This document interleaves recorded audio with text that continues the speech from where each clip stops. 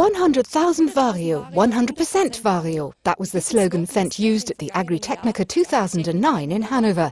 Fendt in Marktoberdorf is completely committed, 100% committed, to the stepless continuously variable drive, the Vario transmission. 100% Vario, that's a good reason for us at Fendt TV to take a closer look at this type of stepless driving. How does the drivetrain from the Fendt brand work? What makes it special? And most of all, is it possible to explain it so that everybody can understand? All beginnings are difficult, and not every idea is accepted straight away. As Fendt began to experiment with stepless drives in the 60s, the professional world had no idea about the existence of this drive concept.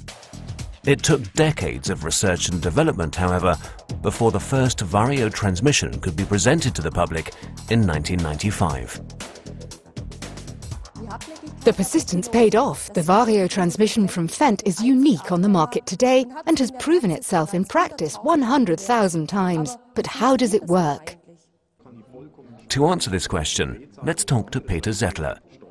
He'll explain to us how a stepless, continuously variable drive works using a simple example. When you jack up one side of a car, then start the engine and shift into first gear, what happens? The differential divides the rotational speed and torque of the drive axle. Force always moves along the path of least resistance. That means that the wheel in the air spins and the wheel on the ground stays put. The car doesn't do anything. Now, if I manage to brake the freely spinning wheel a bit, remove some of the energy here, then the differential transfers some of the energy to the other side. The wheel starts to spin here. That's bad for our car, because it falls off the jack. Now, if we brake just a little bit here, only a small amount of energy is transferred to the other side. The car moves very slowly, and if we hold the wheel tight, all the drive power is transferred to the other side, and our car will fall off the jack at full speed. The situation where one wheel is in the air and the other one spins on the ground is familiar to anyone who has ever parked on the side of the road in winter. The wheel on the ice spins easily. It slips. The wheel on the asphalt, on the dry asphalt, doesn't budge. And that's the basic operating principle behind any stepless, continuously variable drive. We can illustrate this principle further with an animation.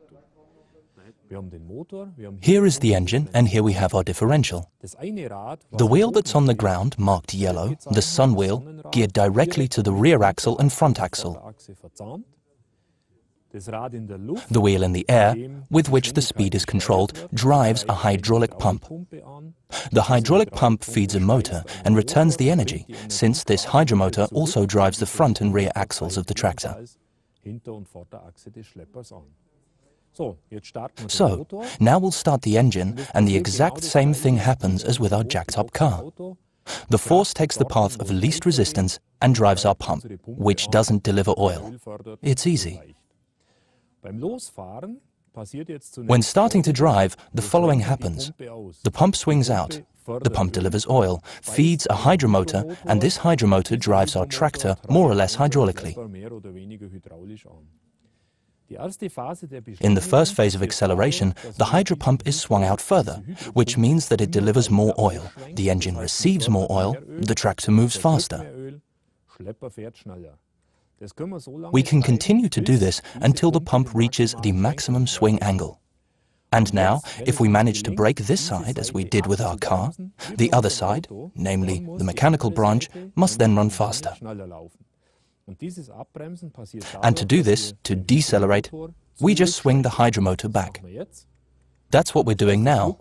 The volume of oil the pump can accept keeps getting smaller until finally it reaches zero. Not a single drop of oil fits in. It's holding the pump tight. That means that the drive energy flows to the rear wheels mechanically. In the Vario transmission, this always occurs when we drive at maximum speed and reduced revs. And, as you can see, there is no shifting involved. Now we only have one more thing left to explain. How do we reverse? That is extremely easy with the Vario transmission. It is done by swinging the pump in the opposite direction. That means that the pressure and suction sides are switched. The hydromotor runs in reverse and drives the tractor in reverse hydraulically. And it's really great at the headland end, because as you can see here, you can switch from forward to reverse without any steps and without having to shift. And of course, all of this happens without any wear. An ingeniously simple design that has proven itself in practice a hundred thousand times. But it took more than 30 years until the transmission was ready for series production, simply because in those early years of development there were no hydrostats available that had the required efficiency and, even more important, there were none that had the right swing angle. This here is the kind of hydrostat that was available at that time. Because the people from the Allgäu are stubborn and don't give up easily, we turned this hydrostat into this hydrostat, which is now the heart of the Vario transmission. The effect that the swing angle has on efficiency can be demonstrated with another experiment. Here we have a normal wheelbarrow, which is turned over and lying on the ground, and a normal garden hose. Mr. Zettler, what does this experiment show us? In the hydromotor, hydrostatic energy is converted into mechanical energy.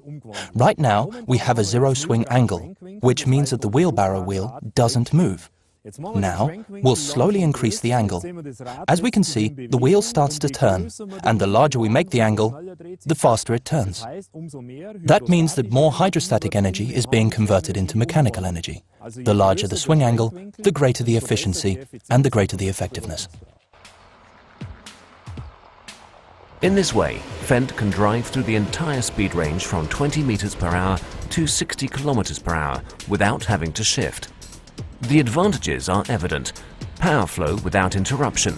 With Vario, you're always driving at the ideal speed, adjusted to meet all conditions. The Vario transmission is a guarantee for maximum efficiency and low fuel consumption. The Fendt Vario technology allows the engine to be operated at an economical optimum every time it's used comfortable and easy operation using the joystick or driving pedal, and last but not least, stepless direction changing. Only Fendt can do this without having to shift. The willingness to innovate that Fendt has shown in this area is tremendous and has paid off. Fendt and the Vario transmission, a 100% success story.